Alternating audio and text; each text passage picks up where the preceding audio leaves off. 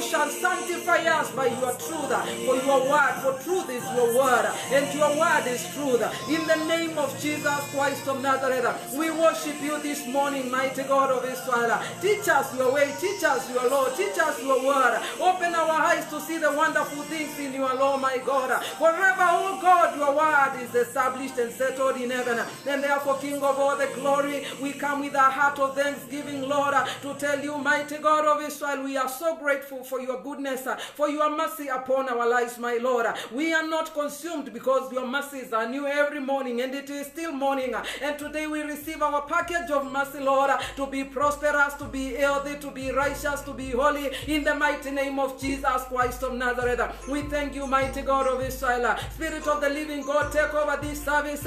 Teach us the word of God. Reveal Jesus unto us. In Jesus' mighty name we pray. Amen and amen.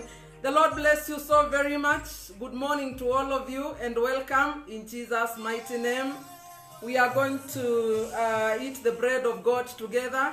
Some of you, I haven't seen you for quite a long time. It's always a pleasure to see you online. Uh, Engineer Kyoko, I've never seen you since uh, COVID. Uh, I think that should have been March, maybe. I don't know, even longer than that. Uh, my brother from Ghana, Evan Aquantuo, God bless you so very much. Welcome, all of you, in Jesus' mighty name. And the Lord, I am sure, will bless us today in Jesus' powerful name. And therefore, uh, we are going to just. Um, we are continuing with uh, what we started. As you know, I said we started Christian restitution in marriage. Restitution is a doctrine. If you want to go to heaven, there are doctrines that you must know. Number one, you must be born again.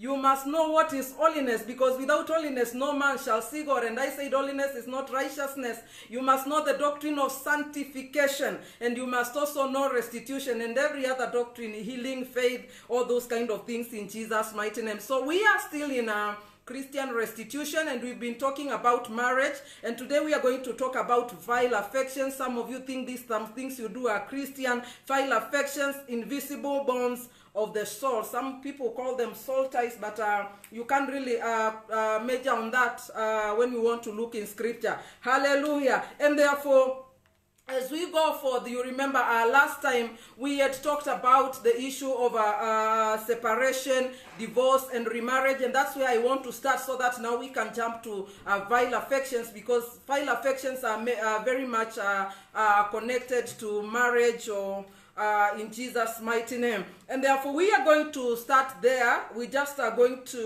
do a recap of what we said about marriage, remarriage, uh, divorce, and uh, separation. And we are going to the book of Romans 7. Allow me to read there before we dive in today's topic uh, in the name of Jesus Christ of Nazareth. I pray that the Spirit of God shall give us flow today, that we shall operate under the action of the Holy Spirit in the mighty name of Jesus Christ of Nazareth, and that there is no weapon raised against us that shall prevail today in Jesus' powerful name. As before we continue, if you are able to get me, if I am audible, if I am clear, so that I don't continue and realize I was preaching to myself, please uh, put a comment there so that I will know that uh, I am audible. And uh, uh, when, once I confirm that, we can go on in Jesus' mighty name. Uh, uh, I also urge you to share the broadcast in Jesus' mighty name. Share the broadcast so that the word of God can go to many people. It is a form of evangelism in Jesus' mighty name. And therefore, if you are able to hear me, I am waiting because I know sound travels a bit uh, different in different networks. If you are able to get me loud and clear, uh, that is Jose Emmanuel. You must be on a very fast network. Hallelujah. Now, we are going to read uh, the book of Romans, chapter 7. I'm reading verse 1 to 3. We just want to uh, uh, do a recap of what we said last time so that, because it's a continuing topic, so that we can go together. Or do you not know? I'm reading the book of Romans, chapter 7, uh, verse 1 to 3. Or do you not know, brethren, for I speak to those who know the law, that the law has dominion over a man as long as he lives? For a woman who has a husband is bound by law to her husband as long as he lives. But if the husband dies, she is released from the law of her husband. So then, while her husband lives, she marries another man, she will be called an uh, adulteress. But if her husband dies, she is free from that law. There is no adulteress, though she marries another man. Hallelujah. Then we talked about, uh, I, I, I, as we were talking about divorce, we said that God did not give any allowance for divorce. And I showed you uh, the reasons why Moses allowed the children of Israel to divorce their wives. It was because of the hardness of their hearts. And therefore, we said Uh, God did not allow that, but there is a law called the law of separation, and you find it in First Corinthians because sometimes things can fall apart. You find it in First Corinthians. I pray that will not be your portion in Jesus' mighty name. First Corinthians, and I am going to read uh, chapter 7, verse 39, and we see what Apostle, uh, Paul advised. Uh-huh. A wife, uh, that's just the same uh, scripture I had read. A wife is bound by law as long as her husband lives. But if her husband dies, she is at liberty to be married to whoever she wishes, only in the Lord. The law of separation is 1 Corinthians chapter 7, and then I'm going to read uh, verse 11. Verse 11. I, 10 and 11. Now to the married I command, yet not I, but the Lord, a wife not is not to depart from her husband, but if she does depart, let her remain unmarried or be reconciled to her husband. And therefore, when you leave your spouse, that you are separated, maybe the marriage has become risky. I say, don't stay somewhere and become a statistic. Then you fall under another set of laws. And we are talking about the law of the Spirit, which is grace, the law of the New Testament, that you cannot remarry. And I do know, children of God, this kind of preaching hurts. But I did not write the Bible. I know it hurts. It pricks the soul. That kind of pricking is called con, uh, is called uh, conviction. If a man says he is a Christian, he is a pastor, apostle, bishop, whoever, despite the fact that they are preaching fire. If they have married another woman or another man for that matter, and their first legal husband liveth, the Bible has called them adulterers. And the Bible says there is no adulterer that shall enter the kingdom of God. And those of you who are subjecting yourself under such people, you do not care about your soul. Because a man that is already convicted to hellfire cannot lead you to heaven. The Bible calls them jackals, wild dogs, jackals, umbwa. You know the Bible and you do not want to obey it because now you are tired of your wife. What you do is you leave your wife in Langata, you go to Kitengela, you go to Langata, you open a big church. People will be coming there calling you Papa. Demons will papa you in hell. You must do restitution. That is not your wife. If that woman you have married has never been married, she is a fornicator inside the marriage. And you that as a wife and married another, another person, you are an adulterer. And neither fornicators nor adulterers will enter the kingdom of God. They that do those things, they shall be outside the gates of heaven. If anybody is preaching the gospel on your fourth marriage and you're saying the church is coming, cathedral of hell, you are in the, in the association of the, the association of transgressors. That is why you want to subject yourself. Hallelujah. Follow such people at your own peril because you don't care about your soul. And you know, the Bible tells us we should not have any fellowship with the works of darkness. Ephesians 5 11 to 12. We should have got no fellowship with such. You cannot, if you want to go to heaven, and I told you, heaven is not Uhuru Park or Arboretum where you just go and enter the way you want to enter. Heaven is a prepared place for prepared people, and the earth is a preparatory ground. You don't go to heaven by luck.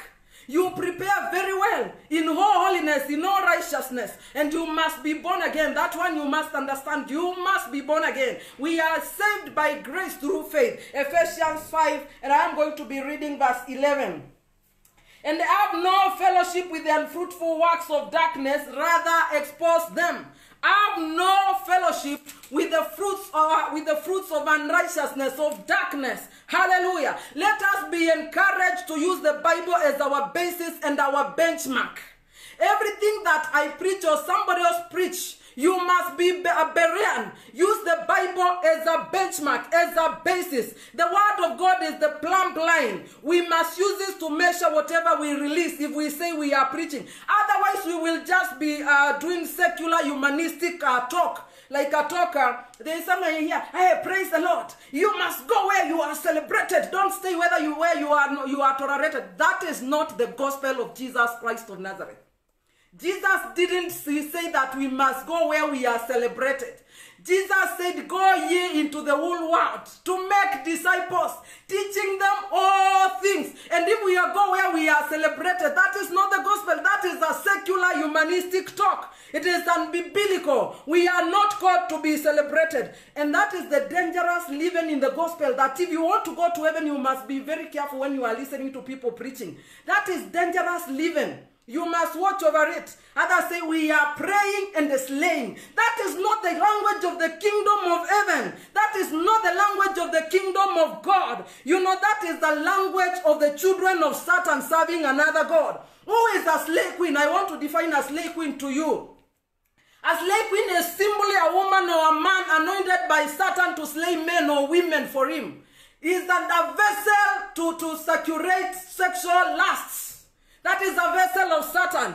And some I see some pastors' life. It is a slaying Friday. Continue slaying. You will stay slay until you go to hell. You are spreading, you are spreading sexual lust. Haven't you ever heard Matthew 5:28 that any man that looketh at a woman to lust after her has already committed adultery or fornication in her heart, in his heart?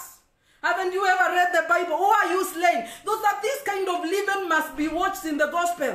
We are praying and slaying. Sisi hatufanyaji tunakulaga kwa macho. That is the demonic language. The Bible in Matthew 5:28 imekukataza kukula kwa macho. God has called us to be holy. There is no scripture in the Bible that called you to be sexy. And if we are not going to be careful as children of God, we are going to follow motivational speakers instead of following the gospel of Jesus Christ of Nazareth.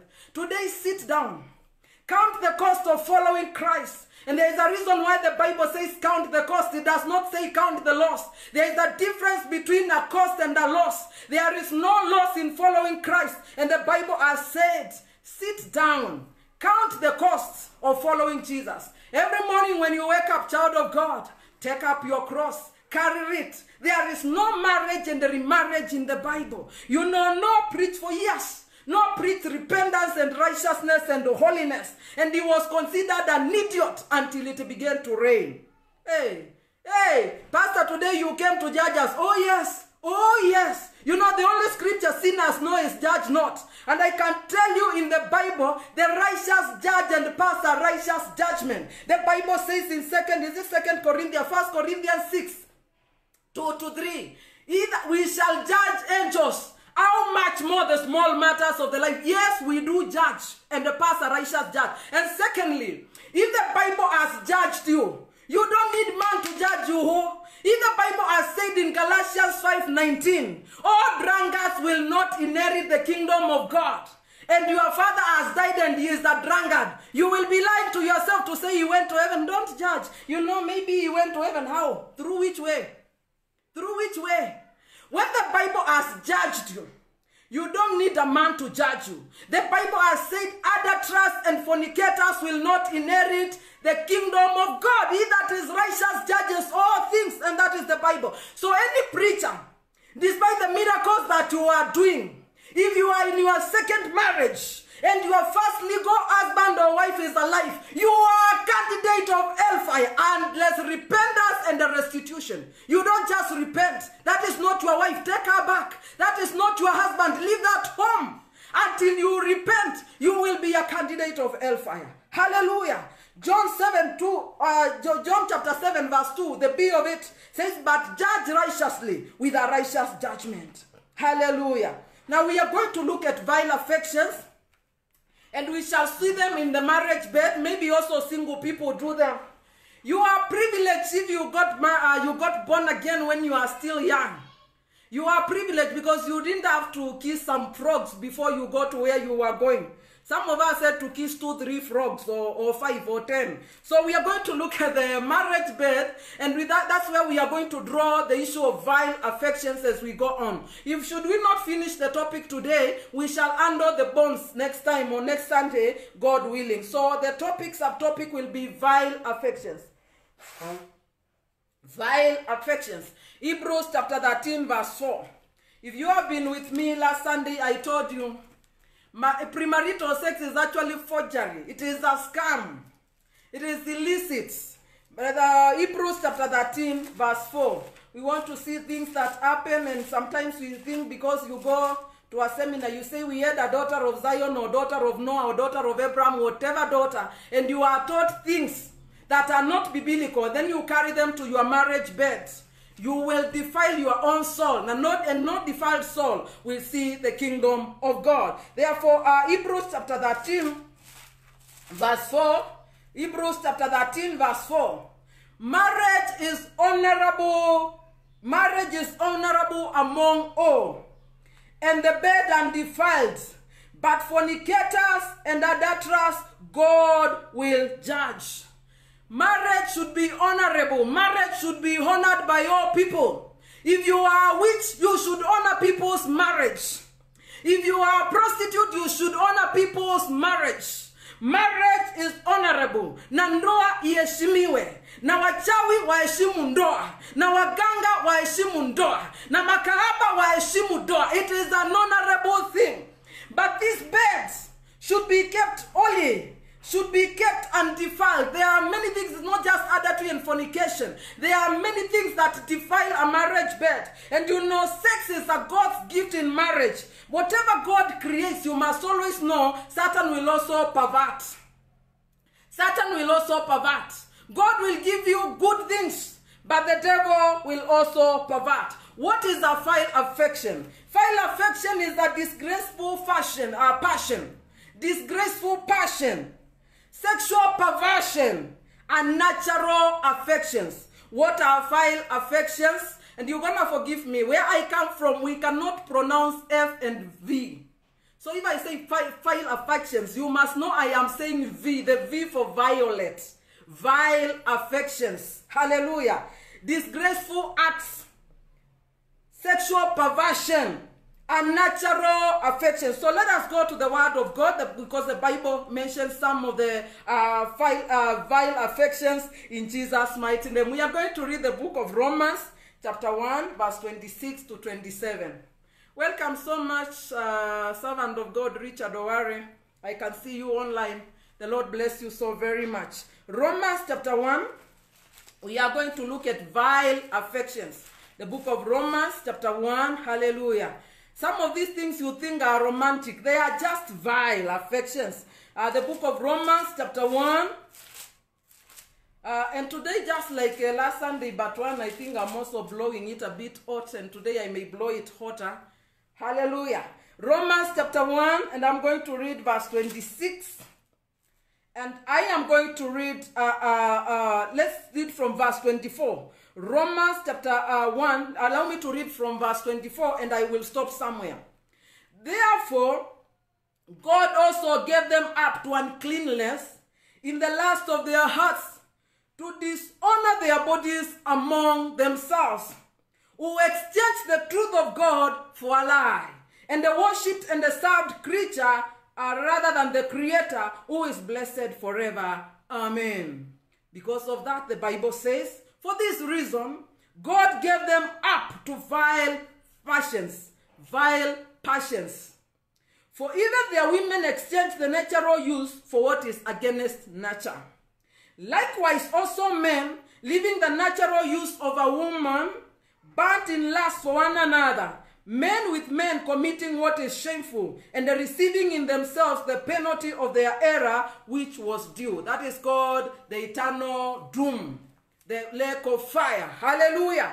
Now, we are going to look at these vile, uh, uh, uh, what are we going to call them? Vile passions or affections that have been mentioned there in Jesus' mighty name. And you know, uh, some the, the, the Western world has baptized some of these affections to beautiful names like alternative lifestyles. Vile affections are an abomination before God.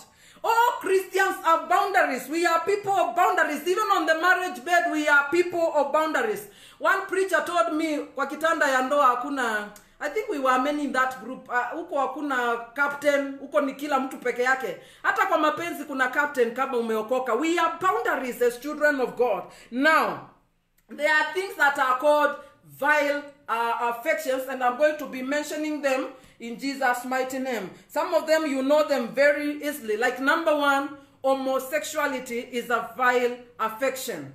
If a man lie with another man, Leviticus 18, you can read it 22 to 30. If a man lie with another man as a man should lie with a woman, he has become an abomination before the Lord. Homosexuality, and I will show you that uh, the, the flesh of men is different from the flesh of blood, uh, of birth, and is different from the flesh of animals. It's in the Bible, and we shall be going to those uh, uh, uh, scriptures once we finish this. Number two, I'm saying number one, Vile passions and affections. Let me use affections so that I'll be able to pronounce it well. Vile affections. Number one is homosexuality. Number two, anal sex.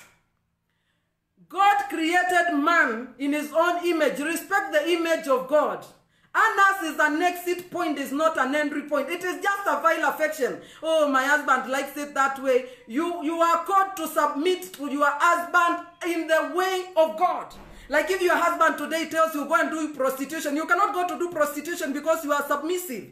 Now you cannot have anal sex just to satisfy somebody. It is vile affection. And what will be a man doing there? That's an exit. Why would you be stirring feces? It's a shameful act. Number three, bestiality. Sexual act with a with an animal. A human between sex sex between a human being and an animal. Today in the Western world, you can marry a dog, you can marry a horse, you can marry whatever you want to, to marry.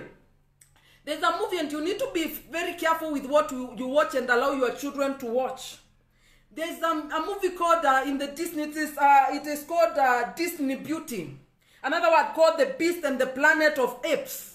You see, they display that a human being married to a human being, they are corrupting the soul of your child. So that your child will grow up knowing it is okay to marry an animal. And now that children are not going to school, you are an absentee parent. You don't know what your children are, you don't know what your children are watching. There's another doll that is very highly demonic. It is called the Barbie, uh, the Barbie doll. You need to know some of these things. Satan is very subtle. He is introducing your children to bestiality, to homosexuality, to lesbianism. And you do not know because you don't know what your children are watching. Check that thing, Disney Beauty. Disney Beauty. The Beast and the Planet of Apes. That's what they propagate. You will sit down with your children, you will be watching watching them. How much Christianity is the, is the Disney Beauty adding to your life? Check what your children are watching. Otherwise, we will not allow God to bring up our children, our children will be brought up by demons. I don't know which number we are in. The other one is lesbianism, just like the homosexuality. And I want to tell you, bestiality is an abomination before God. Some of you, you are Christian. You can't sit well because when you sit, you have some vile affections. When it is the mating season for dogs, you will be out watching dogs mating. After you watch the dogs mating, what goes in through your mind? And tomorrow you read, Father, cleanse me. You are silly. You are not adding into your Christianity. You are opening doors. And the Bible says, when the edge is broken, the serpent will bite. No wonder when you sleep today, you are saying, uh, men are sleeping with you. You start calling them spiritual husband and wife. Where did you get spiritual husband or wife? You need to be careful with your soul. I want to prove to you that human flesh, God created man specifically after his own image. Human flesh is different from animal flesh. The book of First Corinthians 15. Come with me in Jesus' mighty name. Because if some of these things we will not check them, they are coming very fast to Africa. And uh, you see people marrying dogs and the preaching. You'll be saying, My papa. Don't touch my papa. It is a soul tie that you have with your papa. The occultic brotherhood in Kenya is bigger than the one in South Africa, I told you. And one of these fine days, God is going to raise men. They will touch your papa properly because your papa didn't die for you. First Corinthians chapter 15. We want to see the uh, the flesh of uh, uh, uh, birds and the flesh of uh, uh, of human being. That it is different. That women were created for men and men were created for women, not for dogs, not for cows, and not for horses. First Corinthians chapter 15. I'm going to read verse 38 and 39. Listen to me, child of God. 38 and 39. Uh-huh. But, uh, let me uh, just read uh, but, uh, that 8. But God gives it a body. Uh, let me read from 35 so that we understand. But someone will say, How are the dead raised up? And with which, what body do they come? Foolish one. What you saw is not made alive until it dies. And what you sow, you do not sow that body uh, that shall be, but a mere grain, perhaps wheat or some other grain. But God gives it a body, and He pleases uh, as He pleases, and to each seed its own body. All flesh is not the same. That is verse 39.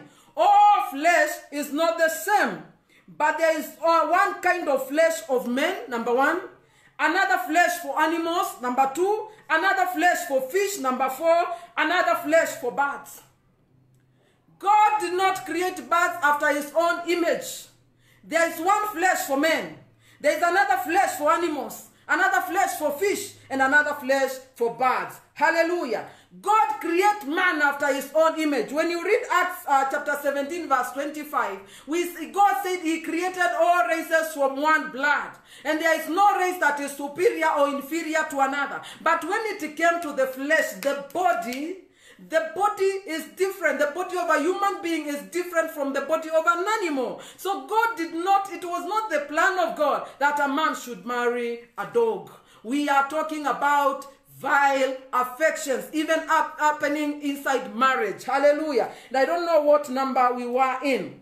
Uh, we are still on that uh, bestiality. We want to go to Genesis chapter 2, verse 220, where we were last time. Genesis chapter 2, and we are going to verse 20. Genesis chapter 2, and I'm going to read verse 20. And today I am reading all scripture from the New King James Version.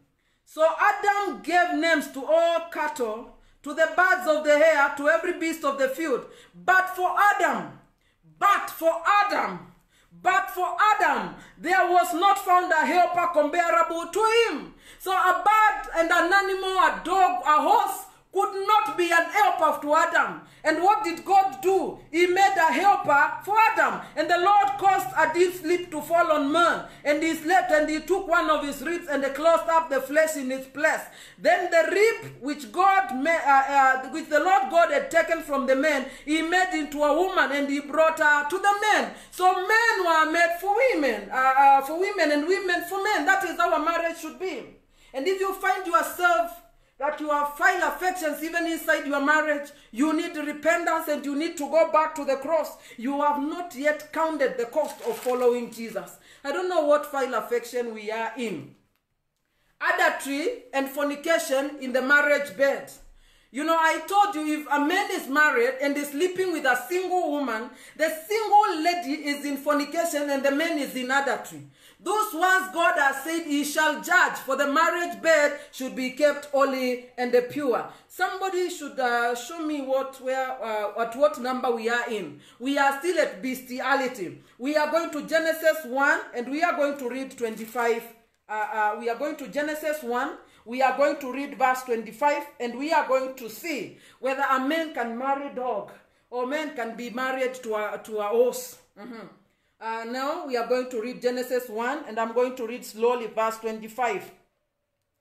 God made the beast of the earth according to its kinds, cattle according to its kinds, everything that creeps on the earth according to its kind. And God saw that it was good. Then God said, Let us make man in our own image according to our likeness. According to our likeness. Let us make men in our own image according to our likeness. Hallelujah. And men is supposed to have dominion over those things, not for them, not for him to be marrying them. A cow after a cow. Cows will mate with cows. Goats mate with goats. Frogs mate with everything made after its own kind. Respect the image of God in your life. Respect the image of your God. Some of you sleep with goats. Yes, we have seen it in the media. That some people sleep with gods. You are an abomination before God. You must be you must repent in Jesus' mighty name. I don't know what number we are in. The Bible calls bestia, uh, bestiality strange flesh. Jude 1 7. The book of Jude is just uh, before Revelation. The book of Jude is just one chapter, so we just say Jude 7. So if I say Jude 7, I'm reading Jude chapter 1, verse 7. As Sodom and Gomorrah, the cities around them, in a similar manner to this, having given themselves over to sexual immorality and they gone after strange flesh. The flesh of animals is a strange flesh. God did not create a human being the way He created animals. When God wanted to create you and me, He spoke to Himself. He said, Let us, God, Father, Son, the Holy Spirit, let us make men after our own image and in our own likeness. And I set forth as an example, suffering the vengeance of eternal fire. You know, hellfire, and the lake of fire will burn with brimstone. Brimstone, just like a Sodom and Gomorrah burnt with brimstone. Don't go after strange flesh. It is a vile affection. Vile affection. The book we are going now to look at another. I have lost count. I know we started with uh, homosexuality. Uh, we came to anal sex. We went to lesbianism, be, uh, uh, bestiality. I don't know which number is that. Now we are going to incest, vile affection. You are brother filled with the Holy Ghost, and you have an erection for your biological sister. You need deliver. You need deliverance. Incest. And we are going to look at the book of Deuteronomy. You are lasting after your cousin. We are going to look at Deuteronomy chapter 27. We are looking at vile affections. Deuteronomy, allow me to get there. Deuteronomy chapter uh, 27, and we are going to read verse 21 to 22. Deuteronomy chapter 27, I am going to read verse 1 and verse 2. Now Moses with the elders, Deuteronomy 27, verse 21 to 22. Deuteronomy 27, verse 21 to 22. Cast is the one who lies with any kind of an animal, any kind, whether dog, whatever, any kind of an animal. And all the people shall say, Amen. Cast is the one who lies with his sister, the daughter of his father, the daughter of his mother. And all the people shall say, Amen. Incest is a vile affection. Or number five, incest, vile affection, vile affection. Things that are not godly, things that the world is teaching you, you are bringing them to ladies' meeting. Uh-huh. We are going again. Oral sex. Hello? Oral sex. A mouth can be used for kissing or whatever you want to do with it on the breast. So the Bible says if this is your wife, our breast should satisfy you. But a mouth is not a sexual organ. It's not somewhere you put your penis in. A mouth is not a sexual organ. It is perversion. Oral sex is perversion. Even when it is being done in the in a, in a legal marriage, it is a perversion. That God did not teach you that. What told you you are a sensual being? So what told you that is pornography? Oral sex. Oral sex is pollution. You know, Satan is the father of all manner of pollution. Satan is doing everything to capture your soul to hell. Nobody told you that. Today, when you go to ladies' meeting, they say, if you do not do that, your husband will go. Yeah, the husband that you collected for yourself. But if it is an husband that God gave you, he cannot leave you because of such nonsense. Why? Mungu anambana. The Lord will make sure he stays within the boundaries. That is not the gospel of Jesus Christ of Nazareth. Oral sex. Mouth can be used for kissing or whatever you want to do, but not an entry point. It's not a sexual organ. We are number seven now. We are in number uh, number seven. You know the Bible says. Let me show you um, about uh, breasts. That's I mean the pastor is talking about breast. I carry breasts, so I talk about breast. There is nothing wrong with the, me talking about breasts. I am a mother, so I see breasts. I also suck my mother's breast. Proverbs 5. Hallelujah, hallelujah. Proverbs chapter 5. And I am going to read uh, uh, Proverbs 5. I am going to read verse 17 to 20. Aha, verse 17 to 20. No, 15. Let me start from verse 15. Drink water from your own system, and the running water from your own well. The well that you have bought, you are paid for, not the one that you have gone and stolen. Should your fountains be dispersed abroad? Should your sperm be dispersed abroad? Strips of water in the streets. Some of you, you don't, you don't know the connection between destiny and sperm. You, you, you, you, you saw sperm everywhere. When you are walking in Kenyatta Avenue, you see a prostitute, you saw sperm. You see a school guard, you saw sperm. You do not know the connection of destiny and your sperm. Should your streams be in the streets? Let them only be your own, and not for strangers with you. Let your fountain be blessed, and rejoice with the wife of your youth. as a loving deer and a graceful dog. Let her breast satisfy you at all times, not during bedtime alone, at all times, and always be enraptured with her laugh. And the breast is breast, whether it's yellow, whether it is standing, whether it is swollen, whether it look like socks. The Bible has said, let the breast of your wife satisfy you. So your wife you married her, she had straight breast. Now it's 20 years, the, the breast is a fallen soldier. Now you are running after school girls and in church you are preaching. You are saying Rabashanda, child of Satan. Vile affections.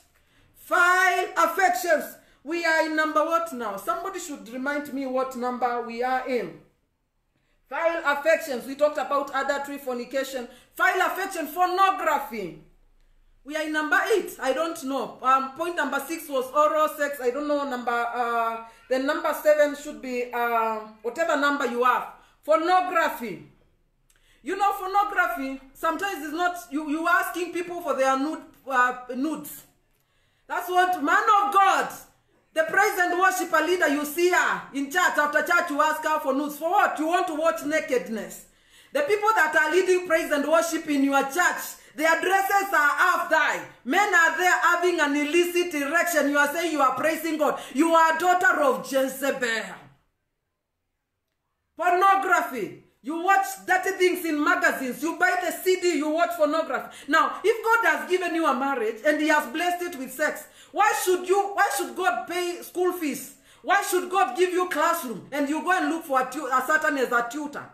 Satan cannot teach you anything good. Pornography, and you see the problem of pornography. It gives you a bondage. You know, before I knew Christ, I used to watch those things, so I know what I am talking about. It gives you a bondage in a way, even when you are properly married. Yes, I did drop from planet. I, I was before I knew the Lord. I watched those things. Before I knew the Lord, I had sinful relationship. I think two of them sinful relationship. So I know what I am talking about. You know, it keeps you in a bondage. In a way, before you can watch that uh, pornography, even if you are with your wife, you cannot get stimulated. There is no affection. The affection is coming from pornography. Because as you watch pornography, there is a transfer of demons in your life. Satan will transfer a demon in your life. It is a sexual demon. It's the one that will teach you all manner of perversion. And that's why you find people are married, you leave your wife on bed, you run to the bathroom to masturbate. You are bound. It is a bondage. And you know, bondage is actually not what binds you. Bondage is what you have refused to let go so that you will be free. You know, sometimes you see Christians struggling with sin. They are going from church to church for deliverance. Sit down. You don't need any deliverance. Sit down with the word of God.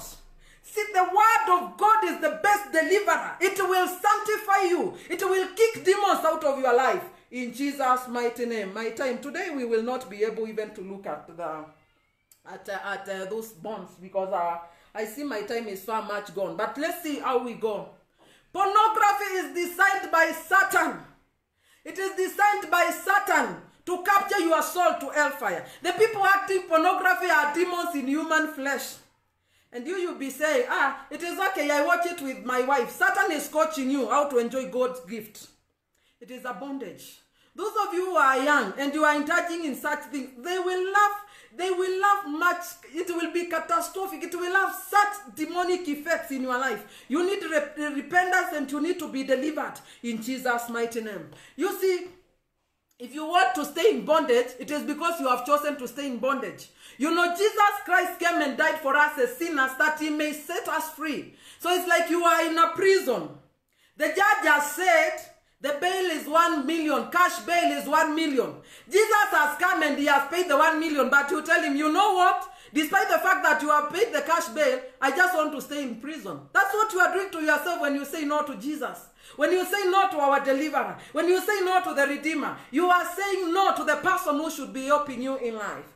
I don't know what number we are. There are other people like, they don't watch pornography, but they like watching animals mating. Young brother, why are you watching a dog mate? Tell me any erection that will give you pure thoughts. None. Those are things that cannot help you. Cannot help you. The use of sex toys. The use of sex toys. The use of sex toys. God didn't give you a wife to insert plastic things in her. No. What you want to insert plastic, you have it. And God has blessed you in that way. Hallelujah. Hallelujah, hallelujah, hallelujah. I'm waiting for a big amen. Hallelujah, hallelujah. Come out of perversion, vile affections, vile affections. You know, Satan will do everything to take you to hellfire. That is why you sit down. There is a program we used to watch. You see a Christian sitting down to watch soap opera, and then they go like they are watching soap opera.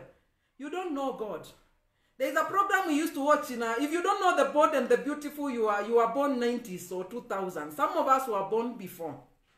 And then you will realize this program will teach you how to date several men. Yes, you can date a son, and when you are through with him, you can date the father. How is that program helping you to go to heaven? How is Maria helping you to go to heaven? Things that you see people you will be watching with your children. Ah, people are kissing on the screen. You say, ah, see, she is kissing today. Your daughter is 12, is there.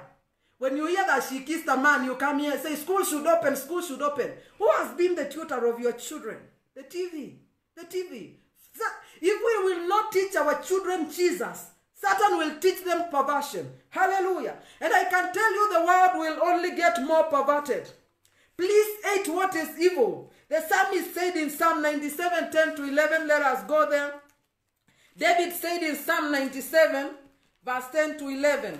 Psalm 97, verse 10 to 11, uh, 10 to 11. He said like this. Uh, I'm reading uh, Psalm 97.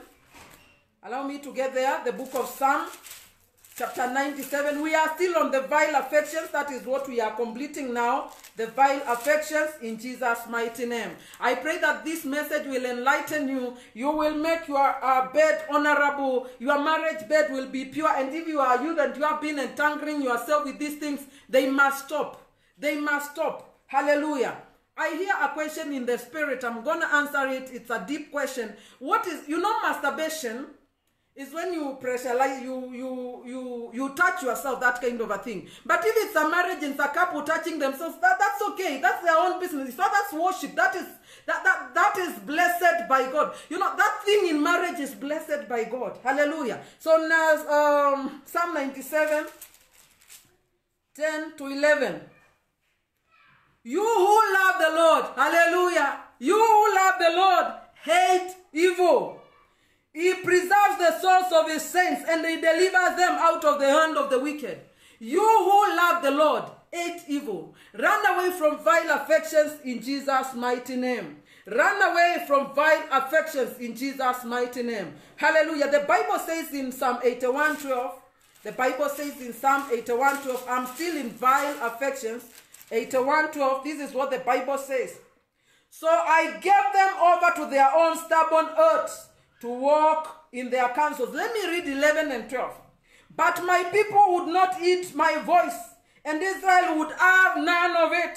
So I gave them over to their own stubborn heart to walk in their own counsel. And there are churches in Kenya that teach you when you have ladies meeting, they teach you how you can do oral sex, you can do. You are being prepared for hellfire. That person is not teaching you vile affections.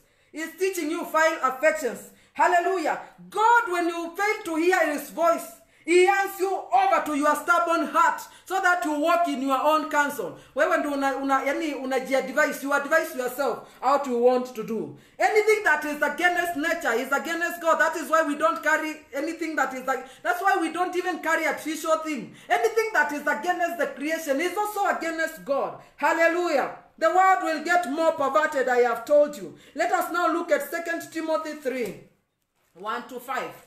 The book of Second Timothy, I'm using the new uh, New King James Version. The book of Second Timothy, we are going to read uh, chapter 3, the book of Second Timothy, chapter 3, 1 to 5. But know this, that in the last days perilous times will come. These are the days. We are the generation that will witness the rapture of the church. We are that generation. These are the times that the Bible, these are the times that Paul was talking about. But know that this, in the last days, perilous times will come. For men will be lovers of themselves, lovers of money, boasters. You boast a lot. That's why you keep on posting picture on Instagram. Proud, blasphemous, disobedient to parents, unthankful, unholy, unloving, unforgiving, slanderous, without self-control, brutal, despisers of good, traders, headstrong, haughty, lovers of pleasure than the, the- rather than the lovers of God, having a form of godliness but denying its power. And from such people, the Bible has said, turn away, no apologies. From such people, turn away. Now let us look at the book of Romans, how we should present our bodies before the Lord the book of Romans. I know you know that chapter 12 and verse uh, uh, 1 to 2. The book of Romans, chapter 12 and verse 1 to 2. The book of Romans, chapter 12. Come out of vile affections. They corrupt the soul.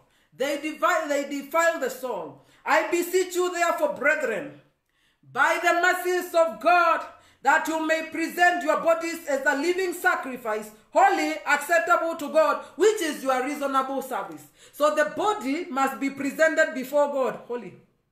What is a living sacrifice? It's like a sheep. So that body, if you want a sacrifice, because the sacrifice must be dead, you must take a knife, which is the word of God, the sword, and they kill the body so that it will become a living sacrifice, holy, acceptable to God. God will not accept that which is an abominable. So those of you who are in homosexuality, lesbianism, come out of it. Bestiality, stop sleeping with dogs and goats. Stop it. That's strange flesh. Come out of it. Use of sex toys, oral sex, pornography, incest. Come out of it. And some of these things you need to repent and do restitution. You need to repent and do restitution, especially if you've uh, been involved in, in rape and something like that. You need restitution in Jesus' mighty name. And therefore, I will end the issue of vile affections there because I want to talk about now the spiritual bonds that are very invisible. And this one will be beneficial to the youth tonight in Jesus' mighty name. I see we still have some 30 minutes that we can continue in Jesus' mighty name. Somebody please give me a glass of water. Hallelujah. Now we want to say this to the youth. You are unmarried now. You have the time to seek God. You cannot seek God, you're seeking marriage. We don't seek marriage. Oh. God gives us marriage. We seek the kingdom of God and its righteousness. And those small, small things like marriage, car, house, small thing, investment, small thing, God will add them unto you. Jacob used a stone as a pillow, and he saw heaven. He saw the vision of heaven because hearing God requires some diligence. Samson decided to use Delilah's, Delilah's dice as a pillow, and he lost destiny. He lost his vision. And therefore, if you are a youth, it is very good for you. I hope I am audible. I hope I, you can hear me. It is if you are youth, it is good for you to see where you are sleeping in. Which spiritual pillow are you using? Because if you are sleeping on the dice of Delilah, there are gonna be trouble in your life. In Jesus' mighty name. I want to say, uh, am I audible? If I am audible, I want to know so that as I continue, as I wait for water, my throat is a bit dry.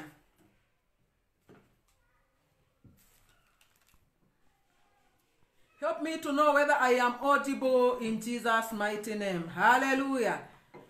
Am I audible? Hearing God requires diligence. Yes, Sister Jen or Home. It requires diligence. Hallelujah. Uh-huh. Uh, I am, uh-huh. Hallelujah, hallelujah. Now the youth, you know me, I don't spare you a lot. So I want to talk to you now. You know, even if you are using a condom in sex, Condoms can only prevent pregnancy and sexually transmitted diseases like HIV, gonorrhea, uh, syphilis, whatever it is. But they will never prevent sexually transmitted demons and the bondages from entering your life. They say, Today I'm good. I'm good. Eh, I thank God I'm not a single mother because your abortions have been successful. Listen, condoms prevent sexually transmitted diseases. They don't prevent sexually transmitted demons. And you know, you, you, you know, there are strange things that make you behave like a, a, a gazelle. You know, you are a child of God. You are supposed, yes, Margaret Mutu, you need to be saying amen. You are supposed to be a somebody of self-control. And today I will focus a bit much on the men. Now, why? Let us look at the book of Second Timothy. Let us look at the sec- book of Second Timothy. You know, if the man you are sleeping with is inocatic, that will not prevent him from sacrificing you because you used a condom. Condom is your own business. In the spiritual realm, the demons are entering. They enter and go to your uterus, go to your heart. Second Timothy chapter 2. Second Timothy chapter 2 and verse 22. The Bible says Second Timothy chapter 2 and verse 22. Flee also youthful lusts, but pursue righteousness, faith, love, peace with those who call on the Lord out of a pure heart. That means if you are pursuing worldly lusts and the youthful lust, you cannot call on the Lord from a pure heart. Your soul will be corrupt. The only thing you begin think you are 22. You are thinking of a woman to marry. You are perverse. You have not even finished college. The money that you have is the one that your father give you. Even the money to buy innerwear you are getting from your father. And you are looking for a woman. A perverse generation. Flee. The Bible has not said run away. It has said flee from youthful lusts. And join the people who call upon the Lord from the pure heart. First Thessalonians chapter 4. We are coming to the bonds. Before then, I always like to lay foundation. So let us go to the book of First Thessalonians chapter 4 verse 3. The book of First Thessalonians, uh, First Thessalonians chapter 4, and I am going to read verse 3. Verse 3. For this is the will of God. This is not the will of man. The will of God. Your sanctification, that you should abstain from sexual immorality. You should abstain from sexual immorality. That, listen, nisikize vizuri, maandiko inasema that each of you should know how to possess his vessel. You know, Paul used to use good language. I want to tell you, you must know how to possess your private part. Each of you should know how to possess his own vessel in sanctification and in honor. That thing must be possessed in sanctification and in honor. That no one should take advantage and defraud his brother in this matter.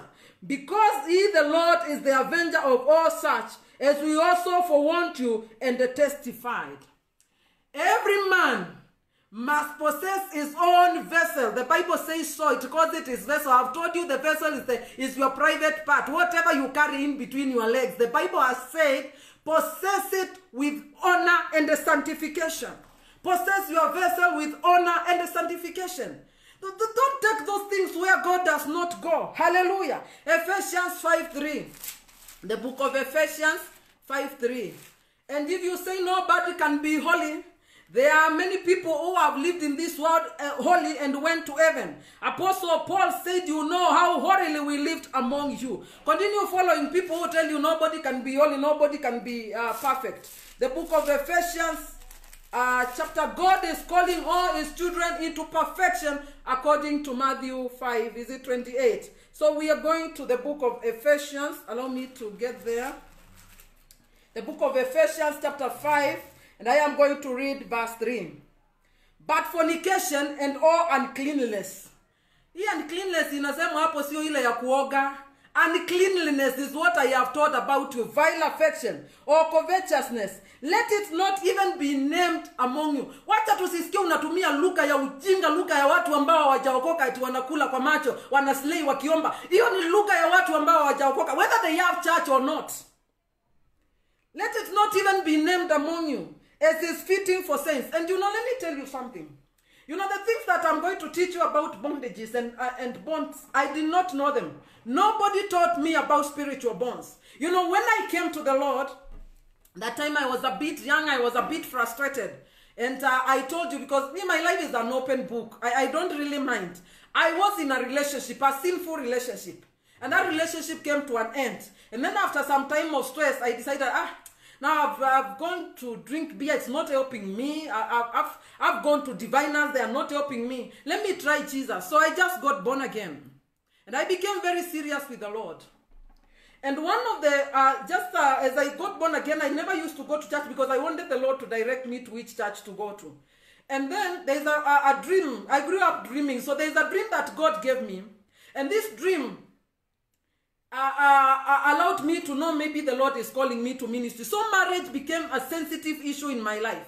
And I decided I would be praying about it daily. And it was in the midst of those prayers when the Lord started to tell me, break this, break this, break this, you know, you were praying for a husband. The Lord began to teach me the formula that He uses to give people husbands. Then He told me, break this, break this until you are free. And until you stand single in the spiritual realm, then I will bless you. And then night after night, night after night, I began to break some things. And it, at there's a point that uh, I reached and I knew I was free. Because that time the Lord showed me the man that will marry me, though I had never met him, I had never known him. The Lord showed me his hometown county where he comes from. The Lord showed me the nature of his work. And the Lord also showed me his spiritual condition in a vision. I had never met that man. He is my husband. Now, I had never met him. I had never known somebody from that region. Why? Because I knew I had become free. So, what I teach you, no man set me down to teach me about these bonds. No. The Lord Himself taught me about these bonds. Hallelujah.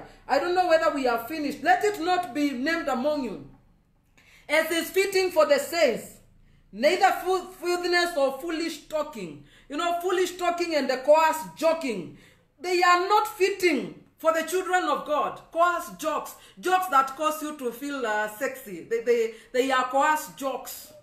Eh? You see people bring them in Facebook, you will be laughing. Oh, jamaa ako chuma ya doshi. Chuma ya doshi ndio kitu gani? You are a child of God. You don't, you don't join the world to, to do coarse jokes. They are not befitting for the children of God. Hallelujah. They are not befitting. They are not befitting. And therefore, we are going again to Proverbs 7 22 to 23. We were there when we talked about the attire of an harlot, Mavazi ya kahaba. And we say the woman described in Proverbs 7 was not an harlot, only that she wore the attire of an harlot. And by then, she, by that, by just wearing the attire of an harlot, she was identified as an harlot. Therefore, Proverbs chapter 7, hallelujah. I hope we are. I hope we are still together. Turiamwe. Proverbs chapter 7, verse 22 to 23. Aha. You know, you can, the craftiness of an harlot, you can go and read it, uh, uh, the whole of it. I will only read uh, maybe 22 and uh, 20, maybe 21 to 23. With her enticing speech, she caused him to yield with her flattering lips and seduced him. Immediately he went after her, as an ox goes to the slaughter, or as a fool for the correction of the stocks, till an arrow struck his liver, as a bird hastens to the snare. He did not know it would cost his life. Some of these things you are doing, you think is pleasure. You, you think you have muscle, you are a man. That's why you sleep with five different girls in a day. It will cost your life. The Bible has said so. Hata hujashanuka ni upumbavu tu. Maandiko inasema na alalaye na kaaba ana ana ana ana ana hekima. And you must understand the language of the Bible. Ikisema hauna hekima isemi hauna ubongo. Maandiko inasema alalaye na kaaba hana akili. Kuna tofauti ya akili na ubongo. You are the membrane but you are full. If you think like sleeping with women will earn you a trophy or men, it will not earn you any trophy. The Bible has said at the end of it, it will cost your life. I want to address the brothers right now in Jesus' mighty name. So even your church, they tell you women cannot preach. You can as well leave the broadcast because I am a preacher and right now I want to address men in Jesus' mighty name. I was called to preach the gospel of Christ. I was not called to preach to women. Hear me. There is something that really sometimes makes men behave very strangely. And then before we talk about these bonds, I want to address it. I'm going to address it the way it is in Jesus' mighty name. You know, having an erection is a normal body function. Yeah, that you can get maybe in the morning, early in the, it's normal. It's God that put, it's just like uh, an emotion of anger. God put it in your life there, but you should not misuse it. For instance, if you get angry, you should not sin in the angry uh, in your anger, and you sh- the anger has a time limit, which is 12 hours. It's an erection is something that God has really put in your body. The problem is when you begin to obey its dictates. And obeying the dictates of an erection is a choice, and I should see other men. Deacon Anthony, I'm seeing you online. You should be saying amen. Hallelujah. If you begin to obey the dictates of an erection, that is when now erection becomes direction for you. And that is the problem we have. And I want to say this, I want to say it loud and clear. Unsolicited erection is not a respecter of persons. You need to possess your own vessel with sanctification and honor. And I don't know any erection that gives you pure thoughts except the one that you get with your spouse, if you are with your spouse, or you think about your spouse when you are in the office and you get it, that is okay. That is the legal one. But I don't know another one outside the confines of marriage that can give you pure thoughts.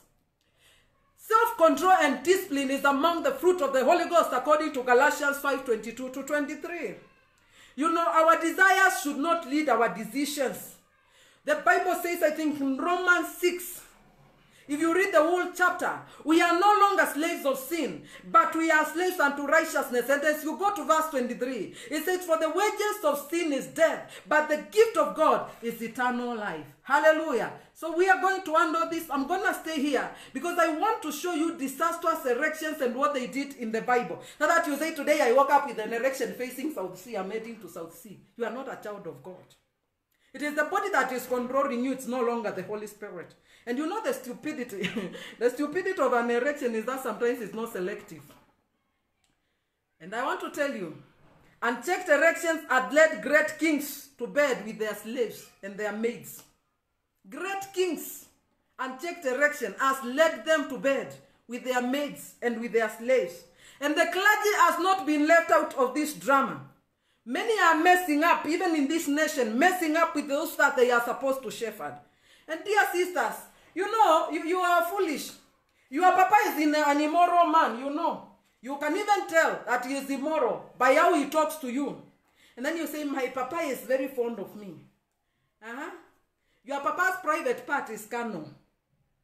Uh-huh. You heard me clearly, sisters. What will he be doing with papa in, uh, in his office alone? What are you doing with Papa? My Papa is very fond on me. You are foolish. He's fond of you where he wants to sleep with you. And then you, uh, there's some unmarried women. You don't have some married women. You don't have the wisdom of God. A man of God is sitting in the office alone. You say, Papa, I pay to see you one on one. Say, Papa, say, what is it? My husband has not slept with me for six days. If you, if that man is a jackal, he will answer that prayer. I am telling you. If that man is a sheep in a wolf skin, is, is, a, is a wolf in sheep skin, he will answer that prayer. So you need to set your own boundaries. Because this, this kind of thing is destroying church. Pastors are sleeping with the people in praise and worship, the people that are supposed to shepherd them. And some of you, when a man of God sleep with you, you begin to feel good because you think you think that uh, anointing is sexually transmitted. No, your papa is inocatic. He is looking for somebody to sacrifice. Hallelujah. Don't fall for such a thing. You know, if you find somebody who does not fear God, he likes around, if he's a man, he likes around himself with women. And when you want to see him, he makes sure there is nobody else there. And then you go out telling other girls, hey, Pastor has favor with me. Hey, you see, Pastor, no, it is your vessel that he is looking for. Be careful. Be careful. Let the word of God dwell in you richly in all wisdom. In all wisdom. Why are you telling your, your pastor is not married? You are telling him your husband has not slept with you. Have you lacked any other counsel? Where is your place of prayer? Where are your best couples? Where are people who can advise you? And now you are looking for a young man. And some of you will sit a young man, a man in 27 years. You'll be telling him the troubles you're having in marriage. He'll start having pity for you. He will console you with his vessel if you are not careful. Hallelujah. Because of this thing, I am talking about this animal called erection. Today, many are in prison because of rape. Many are in prison because of uh, sex with minors, because of uncontrolled erection. And we're going to be looking at the Bible. There was a man called Shechem. We are going to look at him in Genesis 34. He saw Dinah, the daughter of Jacob. She was good. He could not man his own vessel. He raped Dinah. And in turn, the sons Levi and Simeon killed all the men in that Shechem because of Dinah. The book of Genesis, chapter 34, verse 21. I hope I am still audible. The book of Genesis, chapter 24, and the verse 31. The book of Genesis, chapter 24, and verse 31. And this is what it says. The book of Genesis, chapter 34, the book of Genesis, chapter 34, and I am going to read uh, verse uh, 21. The book of Genesis, you can read the whole of it if you want to know uh, the whole story. I'm reading from uh, verse 21. Uh, I really don't want to read 21. Let me uh, read uh, 1. Now Dinah, the daughter of Leah, whom she had bore to Jacob, went out to see the daughters of the land. And when Shechem, the son of Ammah, the Hivite, the prince of the country, saw her, he took her and lay with her and violated her and defiled her and raped her. That should be the right translation. Let me see what King James says. Uh, King James says. Uh, Genesis 34. Allow me to look at it in King James Version. Uh, Genesis chapter 34. I want to read uh, uh, verse 1. You know, my time is really going, but I still have some minutes. We're gonna handle this animal called direction. So that when you wake up in the morning, you control yours. And Dinah, the daughter of Leah, which she bare unto Jacob, went out to see the daughters of the land. And when Shechem, the uh, son of Ammah, the Hivite, the prince, the prince of the country, saw her, he took her and lay with her and defiled her. Erection and controlled erection has led, you know, has led men into prison, having sex with minors. Many today have become absentee fathers. You are not ready to become a father, but you didn't know how to control your own erection. Absentee fathers. Great opportunities have been lost in life. Let us look at the case of Reuben, and I really want to talk about Reuben today in Jesus' mighty name. I know we are not going to finish today, but we, when the time comes, we'll just stop. Reuben, let us go to Genesis chapter 49. You see what how much Reuben lost because of uh, how, how many minutes does sex take? I really don't know. Uh, if I mention minutes, you will say that is how much it takes between me and my husband. So I will be careful with that one. But few minutes of pleasure made Reuben, made Reuben lose a lot, lose a lot, made Reuben lose destiny. And the Bible says, and the Jacob, I'm reading Genesis 49. And the Jacob called his sons and said, Gather together that I may tell you what shall befall you in the last days. Gather together and hear, you sons of Jacob, and listen. Reuben, you are my firstborn, my mighty and beginning of my strength, the excellency of dignity and the excellency of power, unstable as waters, thou shalt not exalt. Because you went up to your father's bed, and you defiled it. Yes, he went up to my court. Listen. Reuben slept with Biliam. And they lost the prophetic mantle. You know, Reuben lost the prophetic mantle as the firstborn. He was the one to carry the prophetic anointing to produce kings in the nation of Israel. He lost it because of an illicit sex, uncontrolled erection. He lost it. He lost it. And I want to talk of Reuben a little bit because this curse followed him until the book of Numbers. This curse, and that's why I usually tell you, if there is a ground that your parent have, you know, there are parents that curse your, their children for no apparent reason. Maybe you are in another religion, you have now become Christian, your parent is cursing you. That is a curse without a cause. There are men just wake up curse you. But if you have done something that has caused your parent to curse you, as long as your parent is live, alive, that curse cannot be removed by a preacher. You need to go back and do restitution. But if your parent is dead, now the spirit, now as spiritual parents, we can remove that curse in Jesus' mighty name. Jesus has come now. He can re- remove that curse in Jesus' mighty name. Now, because of the, that curse that was laid on, uh, uh, because of that curse that was laid on Reuben, other tribes become became much bigger in size than Reuben. They became bigger than Reuben. Reuben, uh, until it got the attention of the men of God, Moses. Listen to me very carefully about what Jacob said. Unstable as waters, you shall not excel. This was as a result of illicit sex. And let us go to Deuteronomy 33, chapter 6. We see what Moses said about Reuben. Because I want to tell you, because of this, there were many consequences that followed after this pronouncement that unstable as waters, you shall not excel. I'm reading the book of Deuteronomy, chapter 33, and I am going to read uh, verse 6. Let Reuben live and not die, nor let his men be few. Why did Moses bless Reuben like that? We want to look at that kind of blessing. Let Reuben live and not die. Meaning, from that point, Reuben began to die prematurely. Number one, Reuben began to die prematurely. Number two, no let his men be few. That means the population size of Reuben in Israel became limited.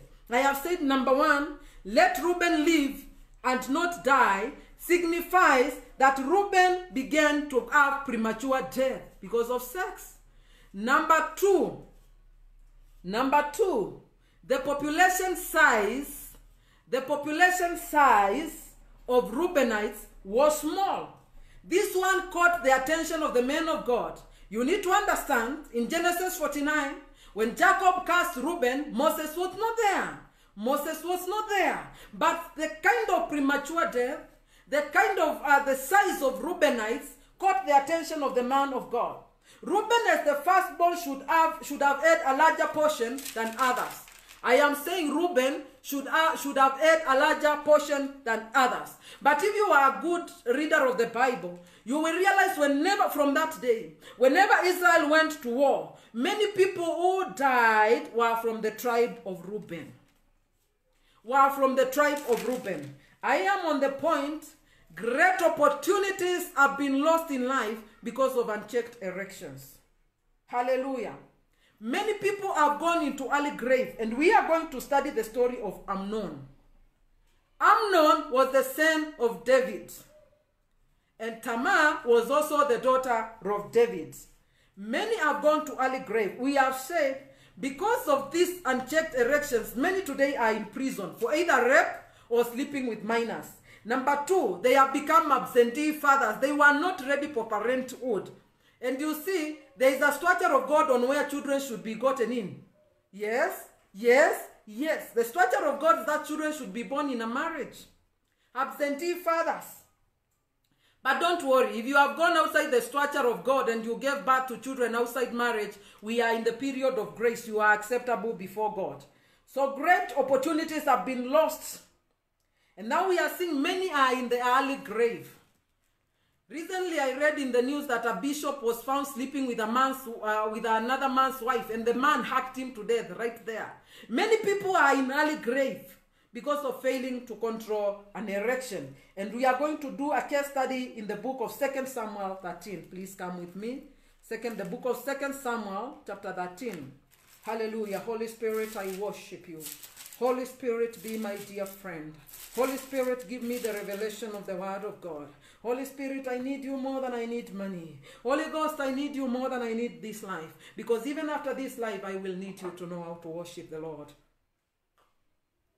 Aha, Second Samuel, and I'm going to read uh, chapter 13. I will just read just few. Verse 1. After this, Absalom, the son of David, had a lovely sister whose name was Tamar. And Amnon, the son of David, loved her. Amnon was so distressed over his sister Tamar that he became sick.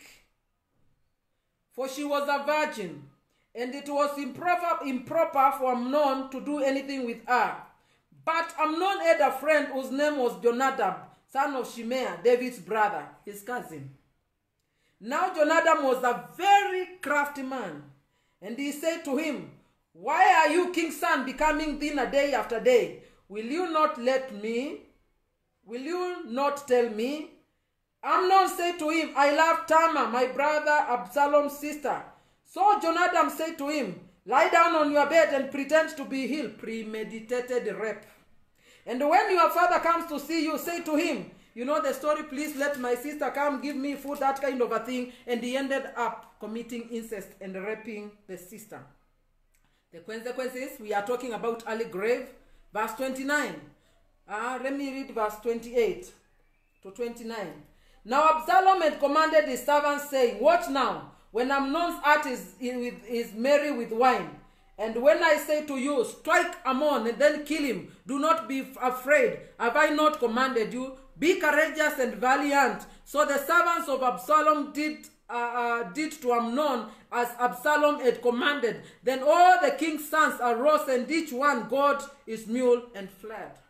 And that tells you Absalom committed a premeditated murder as a revenge to the defilement that had happened to his sister. Sometimes you have bad friends. You just share with them something they will be giving crafty. You remember when we were talking about destiny helpers, I told you you need to pray for God to give you godly friends. I want to bring the service to an end, but before then, This unchecked erection has led to incest, even in the times of the Bible. Genesis chapter 38, and that one you know. Genesis chapter 38, the story of Judah and Tamar. Maybe when we meet again, by God's grace now, we will be now be able to talk about the bonds, the spiritual bonds that you get. And now you will be able to know why a woman will be battered by a, a, a, a boyfriend, quote unquote. Be battered, she will be taken to the ICU. As a family, as she comes from the ICU, you will find her again in that man's house. Binds, ties that binds. Mhm. You know the story of uh, Tamar, Tamar and Judah. I may not be able to read it, but you know how incest happened. Uh, you know, Ir was the firstborn of Judah, and uh, Il, Er married Tamar. But that Il was wicked before the Lord, so the Lord killed him. And the Judah said to uh, Onan, Go into your brother's wife and marry her and raise up an heir for your ch- child. But Onan knew, and he knew the law of Moses. That is what was supposed to happen. But because of that, the Bible says he used to emit on the ground. And I have seen some people without revelation. Wicked holiness preachers saying that be, uh, this is killing baby. You don't kill a baby that has not been form, formed. There wouldn't have been problem if, uh, if if this one chose to do family planning through withdrawal, but give a heir to, to his brother ERR. But he knew he was just wicked. He knew that he didn't want to do it. He didn't want the brother, the names, the brother name to continue. God killed Onan not because he spilled sperm on the ground. God killed Onan because he failed to obey the law of Moses. And the law that he broke had, uh, had an attachment as a capital offense. He committed a capital offense. Now, those of you are going on telling people you cannot do a method of withdrawal. Oh, I'm still born again. You, you just don't know the word of God. You don't know. You need to sit down and be taught the word of God. There is nothing wrong if should you choose to use um, the method of withdrawal as family planning method. Yes, family family plan your family. You cannot kill that which is not born. It takes 72 hours for, for sperm to travel and meet an, an, an ovary. I don't, is it an ovum? Whatever we used to read in biology. Anything that happens between uh, the uh, one second and 72 hours, there is no creation there. So come out of indoctrination. Let the word of God dwell, you, dwell within you in all wisdom. That's not what I, that's just a by the way. We will handle those topics as we go on. Now, uh, the, you know, when Reuben lost his prophetic mandate to produce kings for Israel, that prophetic mandate went to Judah. So I want to read, uh, um, I, I want to read uh, Genesis 49 again to see the blessing that uh, Judah received and see how he messed it up with an erection. This thing you need to handle it. Possess your own vessel with sanctification and honor. So uh, the book of uh, uh, Genesis 49, verse 8. Judah, you are whom your brothers shall praise. Your hand shall be on their neck of their enemies. Your father's children shall bow to you before you. Judah is a lion's whelp. From the prey, my son, you have gone up. He bows down, he lies down as a lion. As a lion, you shall who shall arouse him? Who shall roast him? Verse 10 The scepter shall not depart from Judah. The prophetic mandate to produce kings in Israel was given to Judah. No a lawgiver from between his legs. You know, Moses talks better than Apostle Paul. No a lawgiver from between his feet until Shiloh comes. So the prophetic mandate to produce kings went to Judah. But Judah had also a problem of uncontrolled erection.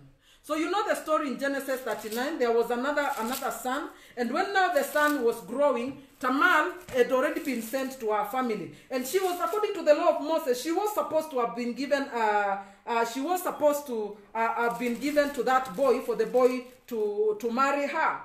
But you know, they had told Tamar, remain a widow in your father's house until Shelah is grown. But Tamar would hear, Shelah is growing, Shelah is growing. And uh, he was not given Shelah.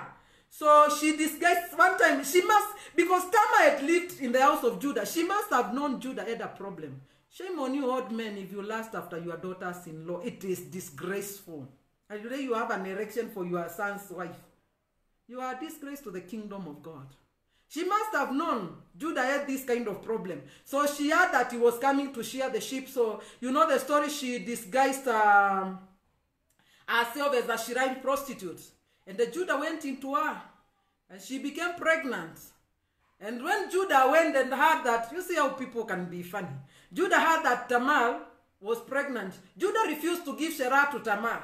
But when she heard that Tamar was uh, pregnant now, he became full now. He, want the law to take effect. Tamar was a wise woman. She had carried some proof, evidence, physical evidence, to show that it was Judah that was responsible for so for her pregnancy. And that is how Perez, you know, that, that is how Perez was born. And uh, that is how Zerah was born. But the effect was uh, felt. The effect was big. I want to finish. Because from that day, there was no king from the line of Judah. I will show you in the next broadcast.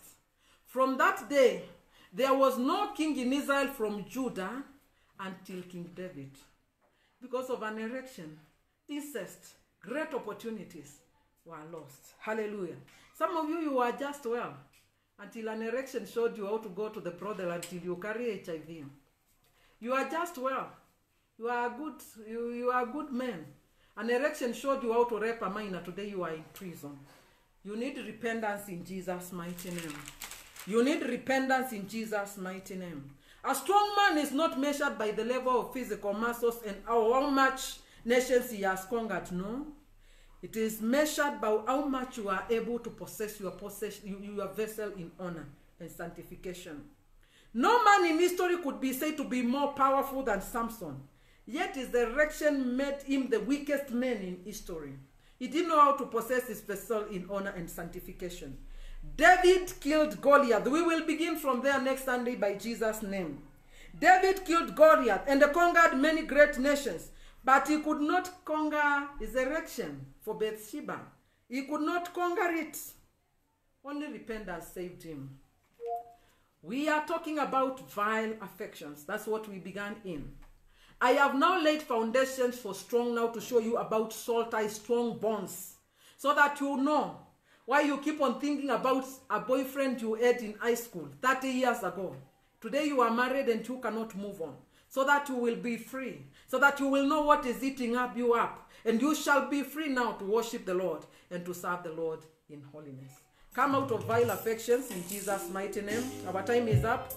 We want to worship the Lord and finish the service in the mighty name of Jesus Christ of Nazareth. We worship you. Let us worship the Lord. We will finish the topic next Sunday, God willing, in Jesus' mighty name. Thank you for following through. Ni zako Yawe, ni zako usiyeshindwa. We worship you, Jesus.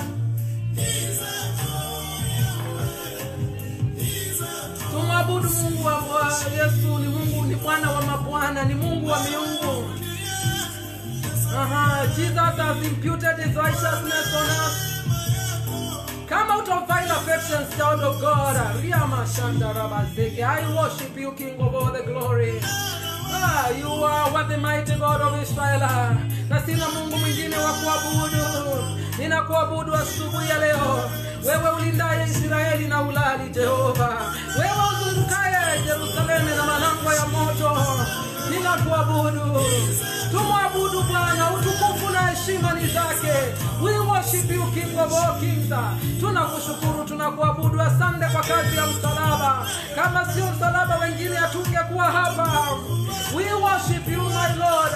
We adore you mighty God of Israel. You are worthy. You are worthy King of all the glory. Wewe ni mnara wetu wa wokovu. Your name is a strong tower. Maandiko inasema jina la Bwana ni ngome imara, na wenye haki ukimbililia na wakawa salama. We give you praise, we give you honor my God.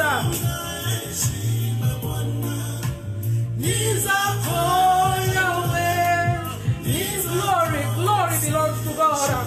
There are two things in life that you don't touch. The Bible says vengeance belongs unto the Lord. Have people treated you wrongly? Vengeance belongs unto the Lord. Glory belongs unto God.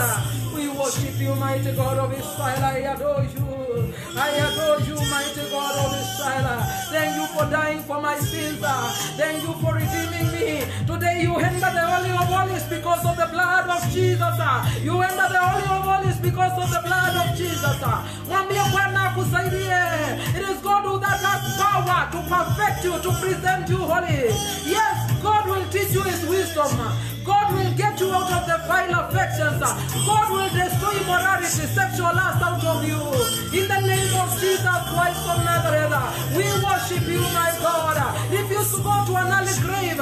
Refuse to be an absentee father. Refuse to go to prison because of some of these things. Don't lose your prophetic destiny because of illicit sex. Ah, we worship you. Have you not heard anybody who joins himself to a prostitute becomes one? Ah, we worship you, mighty God of Israel. Deliver us, Jehovah God. Deliver us from the bondage of immorality. In the mighty name of Jesus Christ of Nazareth, we worship you, King of all the glory. We need to pray in Jesus' mighty name. Father, we thank you. Father, we worship you. Father, we adore you. In the powerful, mighty name of Jesus Christ of Nazareth, thank you for the word that you have given us this morning, Lord. We are grateful, mighty God of Israel. I cover your children with the precious blood of Jesus Christ of Nazareth. Those of you that need deliverance from masturbation, Father, deliver them. You are the God with the power to destroy sin and the power of sin. And as they surrender to you, my God, make them new vessels, my God. Clothe them with your sanctification and your righteousness. In the mighty name of Jesus Christ of Nazareth, we worship you, King of all the glory. Where we have fallen short of your glory, we bring you our sincere repentance. In the mighty name of Jesus, get your children out of the bondage of pornography. In the mighty name of Jesus Christ of Nazareth, you have said you are holy God. We should live holily in sanctification, in total purity. Help us, mighty God of Israel. Let the Spirit of God perfect us until we see the Lord. In the mighty name of Jesus Christ of Nazareth, I pray for the grace of sanctification, the grace of perfection. In the mighty name of Jesus, receive grace to man your own vessel in sanctification and honor. In the mighty name of Jesus Christ of Nazareth, may the Lord help you. May the Lord help me in the mighty name of Jesus. For in that holy there shall enter nothing that is unclean. May the Lord sanctify you. May the Lord purify you. Deliver you from coarse jokes, foolish talking. Oh, may the Lord deliver you in the mighty name of Jesus Christ of Nazareth. I worship you, my Lord. I adore you, King of all the glory. You are highly lifted, my God. From generation to generation, you have been our hiding place, my God. The present help in the time of trouble, a strong tower and a refuge, my God. We look unto you, mighty God of Israel. We worship you, King of all the glory. Let the power of sanctification come upon us. In the mighty name of Jesus, deliverance belongs to you, Lord. You said your word is truth, and by that truth thou shalt sanctify us.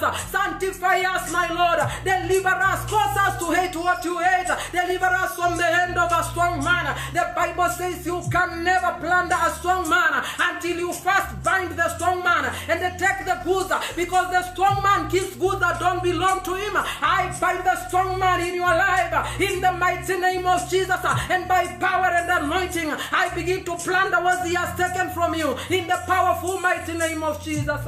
All the years that you have wasted in immorality, as you repent and seek the Lord, I pray the Lord shall repay you. He shall repay you. He shall restore you in the mighty name of Jesus Christ of Nazareth. Oh Lord, give us grace to be holy. Make us holy for you. Make us righteous for you, my Lord. Clothe us with your purity in the mighty name of Jesus. We don't want to carry sexually transmitted demons in our lives. For the body we carry is the temple of the Holy Ghost. Sanctify us, Lord. For the Holy Ghost cannot live in a temple that carries filthiness. Help us, mighty God of Israel. We are the generation that you spoke about in Second Timothy, that we are living in perilous times. Oh, Father, have mercy. Have mercy. We cannot lead ourselves. I pray for the Spirit of God to show us direction. We worship you, mighty Father. We give you praise. In Jesus' mighty name we pray. Amen and amen. If you have never received Jesus, the Bible has said if you don't hear the voice of God, He will hand you over to the stubbornness of your heart so that you follow your own counsel. There is a way that looks good to man, but the end of it is death. When you're refusing Jesus, you are telling him you can man your life. Satan is no man's friend. You cannot man your life. If you hear this word, today is the day of salvation. Today is the day of salvation. I beseech you to make Jesus the Lord and the Savior of your heart, and that your name be written in the book of life. That is the only time you can defeat sin. When you are in the world, you cannot defeat sin because that kingdom sin is its oxygen. But when you come to the Lord, He will teach you holiness. He will teach you sanctification. We worship you, Jesus. Tunakuabudu Yesu. Yesu ninakupenda. I love you from the deepest part of my heart. And I don't have another God to run to, my God. Purify my life. I don't want to preach this gospel and get lost. Purify me, mighty God of Israel. Purify me. I want heaven from heaven that you may look upon me as a servant and smile. In the name of Jesus. In Jesus' mighty name we pray. Amen and amen. The Lord bless you. Have a good day. It's already afternoon.